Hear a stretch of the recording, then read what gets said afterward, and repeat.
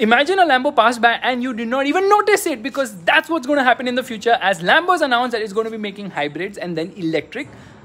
It's all about the sound of the raging bull, but even Ferrari is going to do the same. The future doesn't seem all that exciting all of a